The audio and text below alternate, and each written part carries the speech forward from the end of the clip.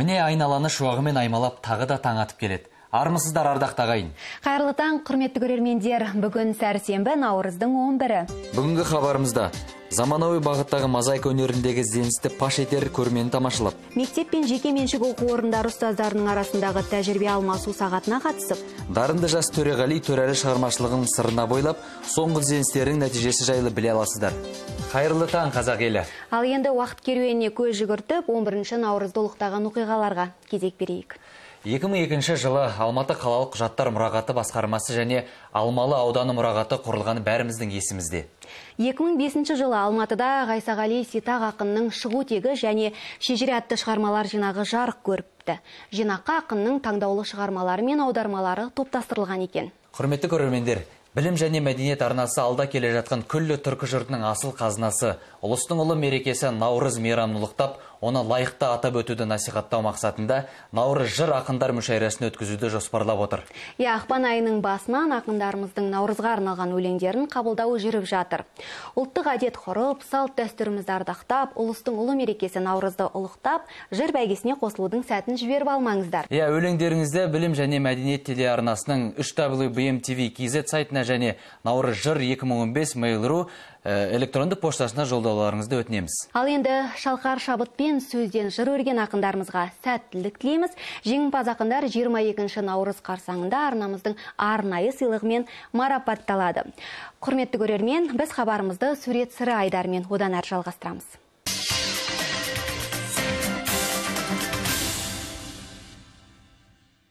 Байырғы өнер саласы мозаика шыны сынықтарынан құрастырылған бейнелердің атауы. Ежелгі замандағы патша сарайлары шіркеу үйлері қабырғалары мозаика туындыларымен безендірілген. Қазақстанда монументті сән өнерінің қанат жаюына байланысты 20 ғасырдың 60-70 жылдары мозаика кеңінен қолданыла бастады. Уақыт өте келе түрлі техникалық құралдар пайда болып заманауи тұрғыдан жаңара түскен мозаика өнері бүгінде сәнге айналуда. Соның бір дәлелі жақында сәндік өнер мамандарын дайындайтын темірбек жүргенов атындағы қазақ ұлттық өнер академиясының бітіруші түлектері мозаика құрастырудан шеберлік сабағын өткізді. Используется такой пластик мозаикаға қолданылатын құралдарды кез келген құрылыс дүкендерінен табуға болады. Түрлі түсті әйнек пластиктерін пайдалану барысында оны арнайы қысқышпен ұсақтаймыз. Алдымен композицияны дайындап аламыз. Сонан соң үстіне тор керілген тақтаны қоямыз. ең жоғарғы бөлігіне беті желімделген үлдірді орналастырамыз. сол кезде астынан сурет көрініп тұрады да әйнектер пластиктерді осы бейненің ізімен жабыстырып отырамыз. Соңынан ауыр затпен бастырып қойып 5-10 сағаттан соң алып қарасақ жұмыс дайын болады қанша ғасыр өтсе де маңызын жоймаған мозаика өнері көзге өте тартымды көрінеді. Бүгінгі таңда бұл өнерге деген қызығушылық жылдан жылға артуда. Тіпті кейбір көрме залдарында мозаикалық туындыларды жиі көзіміз шалады. Мәселен қазақтың танымал тұлғалары кескінделген картиналар ішіндегі гүлфайруз исмаилованың бейнесі айтулы суретшінің мерейтойында көпшіліктің көңілінен шыққан екен. Данную мозаику гульфарис исмаилова я собирала э, в четвертом курсе. Мен бұл туындымды төртінші курсымда құрастырдым. Классикалық техника бойынша картинаның фонын бір түсте жинап бет әлпетін бөлек түспен белгіледім. Өз кезегінде бұл жұмыс бағасын да алып үлгерді. Жалпы маған мозаика өте ұнайды. Бастапқыда қиынсынасың. Жұмыс бітерге қарағанда тезірек аяқтап нәтижесін көргің келеді. Әлбетте дайын болған жұмыс әрқашан көңіл қуантады. Я брала брать характерные места и подчеркивать их кусочками отдельной мозаики. Шеберлік сабағымен сусындауға жастар жағы жиналған. Үйренуге өте оңай әрі қызықты тәсіл олардың көңілін тез ақ баурады. Меня сюда позвали мои друзья мені бұл жерге достарым шақырды. Сабақ барысы өте жеңіл өтуде. Олардың кәсіби шеберлігі біз үшін өте маңызды. Мозаиканың басты ерекшелігі реңін сақтап тұруында. Оған тән осы сынды өзге де қасиеттерді санамызға бірте бірте сіңіріп жатырмыз. Ең бастысы уақытымызды пайдалы нәрсені меңгеруге жұмсадық. Талантты жастар осылайша танымдық шара өткізіп өз білгендерін өзгелерге үйрету арқылы өнерге жанашырлық танытты. Болашақта шығармашылық өмірін мозаика өнерімен тығыз байланыстыруға ұмтылған талапкерлердің бұл бастамасы ұлы істердің іргетасы болып қаланады.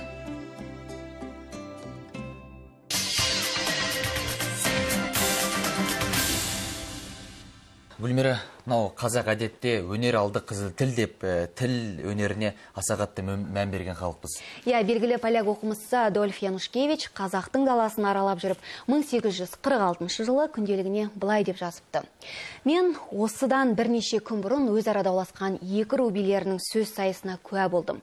Цицерон мен Демосфеннің кім екенін өмір естіп көрмеген шешендердің ғажайып өнеріне қол соғуға тура келді деген екен. Иә, құрметті көрермен, бүгінгі қазақ тілінің қолданыс аясындағы мәселелер турасындағы сұхбатымызға Ахмет Байтұрсынұлы атындағы Тіл білімі институтының бас ғылыми қызметкері, филология ғылымдарының докторы Сидін Бизақов мырзаны арнайы шақырып отырмыз. Қайырлы таң студиямызға қош келдіңіз аға. ассалаумағалейкум аға уалейкум салам рахмет тіл мәселесін бір адамдай көтеріп оның қыр сырын зерттеп жүрген ғалымсыз жалпы мына ғалым ретінде осы тілге қатысты өзіңізді қандай мәселелер алаңдатады?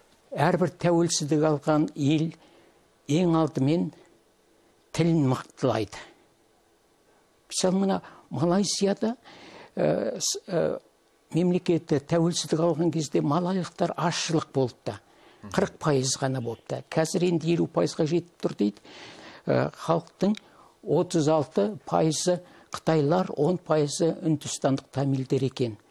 Сонда малай тілінің қолдану аясын дамыту үшін кеңейту үшін ең алдымен ма- малай тілін жетілдіру керек деп олар шешім қабылдады. Егер малай тілі сөздік қоры жағынан басқа тілдерден кем соғып жатса әуезділігі кем соғып жатса көркемдік кем соғып жатса онда қытай мен тамилдер тұрмақ малайлықтардың өзі малай тілін ә, не мұрнын шүйіріп қалып оны үйренуге құлықсыз болып қалады деп олар алдымен тілін дамытып орфографияны жетілдіріпті соның арқасында 10 жыл 10 жыл өткесін малай тілі жалпы ұлтаралық тілге айналды деп жүрміз ғой халқының саны да қазақстанмен бірдей ал енді біздің халық жетпіс пайызға тақап қалды әлі шешілмеген күрделі мәселелер бар ә? малайлықтар елу пайыз болса да малай тілін сол өз елінде ұлтаралық тілге айналдырыпты. Содан үйренуіміз көп. Менің еңбектерім көбінесе осы тіл мәдениетіне қатысты тілді жетілдіруге қатысты. Өзім екі жылдай мына орыс тілді курсанттарға сабақ беріп жүру үшін ә, беріп жүріп екі үш еңбегімді шығардым. Басқа тілді үйрету үшін екі нәрсе керек екен. Оның екі ә, жолы бар екен. Біреуі мәжбүрлеп үйрету тілді. Біз жиырмадан астам жыл бұрын жыл жиырма жылдан асты мәжбүрлеп үйрете алмай келеміз ойдағыдай ә, нәтиже шықпады иә қаншама заң шығардық қаншама қаулы қарар шығардық қаншама қаражат бөлдік қаншама үгіт насихат жүргізіп жатырмыз марапаттап жатырмыз тілді үйренуге бірақ нәтиже ойдағыдай емес ал енді тіл үйретудің екінші тәсілі тілді құрмет тұтқызып үйрету. Бұл өте тиімді тәсіл. Егер тілді құрмет тұтқыза алсақ бір екі жылда ақ тілді үйреніп шығады. Енді ол үшін әрине ынта болу керек, иә, бірінші кезекте ынтасы болу керек құрмет тұту үшін, үйрену үшін. Ол үшін не істеуіміз керек аға? ынта болу керек. Сол үшін мен екі кітап жазып шығардым. Қазақтарға арнап қазақ тілінің бай көркем өте оралымды тіл тек ә, түркі тілдердің арасында емес бүкіл әлем тілдердің арасындағы өте бай тілдердің көзін жеткізу үшін ә, қазақ тілі қандай тіл деген еңбегімді жаздым. Қазақ тілінің Қандай тіл? Ә, мысалы көп тілді ортада тілдердің салыстырма бәсекесі болатын анық. Салыстырып қарайды орыс тілі қандай тіл қазақ тілі қандай тіл қайсы бай тіл дегенде. Сонда мен ә, қазақ тілінің орыс тілінен байырақ молырақ тұстарының аз емес екенін көрсеттім. Ал енді орыс тілді ә, оқырмандар үшін учебник трудностей казахского языка деген кітапты өз қаражатымен шығарып ем. Тез өтіп кетті одан кейін атамұра баспасы өзі сұрап екінші рет мына казахский язык просто о сложном деп сол кітапты екінші рет атын өзгертіп шығарды. Мен көрсеттім қазақ тілі әлем тілдерінің ішіндегі бай тіл екенін орыс тілді қандастарымыз орыс тілді оқырман тілінің көзін жеткізу мақсатымен жаздым деп атап өттім. Қазақ тілі шылау сөздерге өте бай. Мысалы и деген орыс тіліндегі э, ш- э, шылау сөз жеті сегіз тәсілмен аударылады. Ал бізде және деп қана аударып жүру ол біздің тіліміздің қалына келін- келіңкірмейді ол дәл аударма жасалмайды. Э, ол орыс тіліне орай э, желудің әсерінен болған э, құбылыс Иә. деп көрсеттім. Жеті сегіз. Әрі да де та те мен бен пен деп көсемше тұлғасымен басқа да мол тәсілдер бар. Туыстық атауларға қатысты да қазақ тілі тек мына туыс халықтардың арасында емес орыс тілімен салыстырғанда ғана емес бүкіл әлем тілдерінің ішіндегі ең бай тіл деп бұрынғы түркітанушылардың пікірін дәлелдеп келтірдім. Мысалы орыс тілінде мысалы сестра старшая сестра младшая сестра деген үш сөз бар. Ал Иә. қазақ тілінде осы сестраның он бес түрі айтылады. Иә. Әпке сіңілі қарындас. қарындас. Содан кейін әпкенің өзі бес түрлі айтылады сіңілінің өзі бес түрлі айтылады қарындастың өзі бес түрлі айтылады. Сонда барлығы он бес. Әпке тәте апай дұрыс. Сейдін аға енді мұның бәрі негізінен біздің тілдің бай екенін көрсетіп отыр ғой дәлелдеп отырсыз ғой. Бұл дұрыс. Енді кезінде тіліміз орысшаланғанымен бәрібір түбі бір түркілердің ұрпағымыз ғой. Бүгінде енді заман өзгерді соған қарай тұтынатын заттарымыз да өзгерді. Осыған орай ә, мәселен сол ә, заманауи тілде келіп жатқан атауларды қазақша аударғанымыз дұрыс па? Мынау халықаралық терминге шейін аударамыз деген оң дұрыс нәтиже бермеді. Өзі орыс тілін басқа тілдермен салыстыруға болмайды. Бізде мысалы араб парсы тілді орта болған жоқ.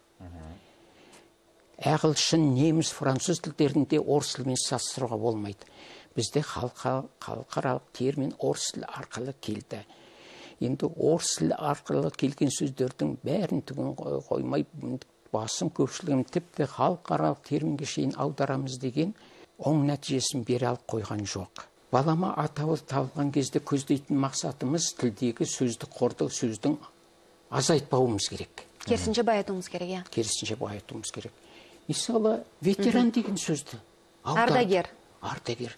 Енді бұнда да сөзді азайтып отырмыз. Ардагер деген сын есім ал ветеран деген зат есім. Мағынасы мүлдем бөлек білдірер мағынасы. Мысалы бұрын екеу қатар қолданатын ә, ұлы отан соғысының ардагер ветераны жұман қария көп жыл бойы колхозда еңбек сіңген еңбек, еңбек сіңірді деген сөйлемде екеу қатар қолданып тұр ғой иә? Ардагер деп алдық. Ардагер деген енді жалпы субстантив Ә, жасы жас жастар да ардагер болады кәрілер де ардагер болады. Ал ветеран тек кәрілер. Ардагер амангелді ердің ері дейміз ғой ал ә, амангелдінің жас жігіт кезіндегісін сипаттап иә арқаның ардагері әқан серт деп мұнда да кәртайып тұрған жоқ. Ардагер деген сөз өте қымбатты өте құрмет тұтатын өте не дейді енді ветеран картайған еңбек иә сын сіңген есім субстантивтеніп тұр. Бұл, бұл мұны да ә, туыс тілдерде балама атауы бар. Соны алайық сонда ә, ардагерде қалады ветеранның аудармасында аламыз. Мына туыс тілдерден сөз ауысудың бір тиімді тәсілі олар ешбір талас тудырмайды. Тез қалыптасып сіңісті болып кетеді екен. Ал енді кейде сол туыс тілдердің қазынасына көз жүгіртпей ойдан сөз қиыстырамыз. Бұның өзі біреуге ұнайды біреуге ұнамайды. Мен соны мына кітаптарымда көрсеттім. Кітаптарымда қаншама ұлтымды қаншама қолайлы сөздер ә, біздің әлі аудара алмай ә, жүрген орыс тілінен енген сөздеріміздің дәл баламасы бола алатын сөздер жатқанын мына кітаптарымда көрсеттім. мына ол, ол мына кітапта бар. Сөз нұсқалары және балама атаулар атаулар, дегенде соның екінші бірінші бөлімі сөз нұсқалары екінші бөлімі үш мың сөзден асқан балама атаулар. Мұның қабылданғаны бар келешекте қабылдануға тиіс деген сөздер бар осында. Бәрекелді аға мына бүгінгі таңда қалай сөйлесе солай жазады. Жалпы мына тілдегі үндестік заңы сақталынбайды. Ә, еліміз тәуелсіздік алғаннан бері мынау ә, орфоэпиялық сөздік ә, қаншама рет жаңардып қайтадан шықты. Сенің айтып отырғаның орфоэпиялық қателер мұның өзі бұл басты. Бұл жайында да мен өз мақалам шыққан еді орфоэп мына ә, мына кітапта сол орфоэпиялық қателерге байланысты ә, мәселе қаралады. Онда мен екі нәрсеге баса көңіл бөлдім. Біріншісі мынау теледидар мен радио тек ақпарат беретін құралдар ғана емес сол сияқты дұрыс сөз саптауға дұрыс сөйлеуге орфоэпиялық заңдылығын дұрыс ә, бұзбай сөйлеуге тәрбиелетін құрал деп көрсеттім. Осы тұрғыдан ә, теледидар мен радионың журналистері орфоэпиялық қатені жібермей сөйлесе оны енді мыңдаған миллиондаған халық тыңдайды ғой. Бұл үлкен тәрбие құралы дұрыс сөйлеуге баулитын. Енді жа, жақсы сөйлейтін ешбір қате жібермейтін журналистеріміз бар дейміз енді міне радио хабарындағы журналистердің кішкене қатесі көбірек та ал енді теледидарда азырақ. Екіншісі ең керектісі әншілер сөздің мәтінін дұрыс айта білсе. Әншілер де сөзді сірестіріп айтатындар бар өкінішке орай. Бір жақсы әншіміз ә, осы халыққа сүйіп тыңдайтын әншіміз ән салып тұрып адамды жақсы көру керек екен дейді. Сол кезде әттеген айдап қаламыз жақсы көру енді қалай орай жақсы көру деу керек қой иә? Иә. адамды жақсы көру керек жақсы екен деп. көру иә. Бір әнші ән салып тұр. Әні болғым келеді сәні болғым келеді деп. Онда да ой әттеген ай дейсің ғой. Қалай орай тек келеді болып айтылады. Иә. Әні болғым келеді сәні болғым келеді деп. Ал бір әнші жас әнші сұлу қыз ау сұлу қыз деп қылғына қайталап айта берді. Оны қалай сүйсін тыңдайсың? Сұлу қыз ау сұлу қыз деу керек қой. Мына ә, қазақ тілінің мына а- ассимиляциялық үндестік заңы бұл даусыз дыбыстардың үндестігі. Даусыз дыбыстар өз кезегімен ә, үндестік заңының ықпалымен ұяңдайтын кез болады ғой. Ұяңдайтын қ ә, ә, ға айналып К, Г-ға айналып. п в-ға айналып в осы әншілерге енді ән саларда өзінің мәтінін айтарда өз өзі тіл мамандарына көрсетіп түзетіп алмай ма? Ән салардан бұрын а? біз мына тіл білімі институтының директорымен ақылдасып осындай даулы мәселелерді талас бітіретін мәселелерді жиын өткізіп ә, осыған бір тоқтамға келейік бір пәтуаға келейік деп жатырмыз Ә, дау-дамай демекші мына жерде ә, сіздің жақында бір республикалық басылымдарда жарық көрген мақалаңызға келсек көзге көптік жалғауы жалғанбайды. Деген мақала жазыпсыз. Бұл мақаланы жазуға не түрткі болды аға? Э, стильдік ә, төрт қатенің бір түрі стильдік қате дедік қой. Стильдік қате орыс тіліне орай желудің кері әсерінен болады. Орысша ойлаудың кері әсерінен болады. Орысша ә, ойлап қазақша сөз саптағанда стильдік қате кетеді. Орыс тілі ә, мен қазақ тілі әртүрлі жүйеге жататын тіл болғандықтан кейбір тұстары дәлме дәл ә, сөзбе сөз аударылмайды. Олардың қосымшалары да дәлме дәл келмейді орыс тілінен қайталап көшірудің үш түрлі салдары бар. Біріншісі мысалы біз су дейміз гүл дейміз жеміс дейміз жеміс жидек дейміз басқалар бұлардың бәрі жеке тұрғанның өзінде көпті ұғымды білдіреді осыны орыс тіліне орай желеудің әсерімен сулар шырындар жемістер э, деген жазбалар кездеседі соған ал екіншісі онсыз да көптік ұғымды білетін сан есімнен кейін ә, зат есімге ә, мысалы бес үй дейміз ә онсыз да бестік көптік мағынаны білдіріп тұр. Бес үйлер демейміз ә Ә, әлденеше ә, мәселе дейміз. Әлденеше мәселе. Әлденеше онсыз да көптік ұғымды білдіріп тұр. Барлық адам дейміз барлық адамдар демейміз. Онсыз да көптік ұғымды білдіріп тұр. Ал енді үшінші ә, қатесі Иә. жіберудің қате орыс тіліне орай желеудің бұл мына абстрактты зат есім болады. Абстракт зат есім дегеніміз не? Адам денесімен сезінбейтін көзімен көрмейтін ә, зат есімдер бар. Ғылым деген нақты зат емес. Иә. Бұл абстракты зат емес тәрбие деген абстракты зат емес идея деген теория деген. Бұндай сөздерге көптік жалғау жалғанбайды. Осыны мен бірнеше рет айттым мынау мысалы. Онда, анау, мынау ә, тіл білімінің жетік мамандары істейтін институттарда университеттерде сондағы жазбалар да, тарих ғылымның докторлары математика ғылымдарының докторлары. Филология ғылымдарының докторлары дейді ескерту айттым. Олар э, э, қарсы шықпайды. А негізі дұрысы сонда дұрысы э, тарих ғылымының докторы. иә, тарих ғылымының докторы математика ғылымының докторы физика ғылымының докторы филология ғылымының докторы ғой енді. Біз енді орыс тілін сөзбе сөз э, формасын формасына формасын келтіріп аударамыз деп қазақ тілінің э, э, қалыбын на келтіре алмай жүрміз. Ә, мәнді сұхбат бергеніңіз үшін өзіңізге алғысымызды білдіреміз.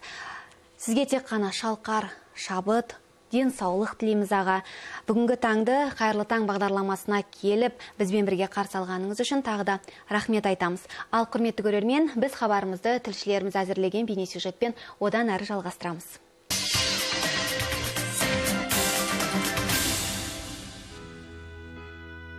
Білімдіге дүние жарық білімсіздің күні ғарып демекші ілім білімсіз күнің қараң екені белгілі бұл орайда өскелең ұрпақтың білім көкжиегіне деген қызығушылығын арттыратын олардың шәкірт кездерінен біліммен сусындайтын алтын ұялары орта мектеп пен жоғарғы оқу орны екені сөзсіз осы мақсатта жуырда әл фараби атындағы қазақ ұлттық университеті юнеско халықаралық журналистика және қоғаммен байланыс кафедрасының ұйымдастыруымен қазақстан республикасы мектеп мұғалімдеріне арналған екінші республикалық қысқы мектеп шарасы өткізілді. Біз енді бұл негізі оқыту семинары. Мектеп ұстаздарын енді біз жоғары оқу орны болғандықтан да оларды оқытудың инновациялық әдіс тәсілдеріне көбірек баулығымыз келеді үйреткіміз келеді. Себебі бізге келген студент мектепке мектептен шыққан талапкер бүгінгі біздің студентіміз бізге талантты болып келу керек білімді болып келу керек. А ол білімді ол мектептен алады.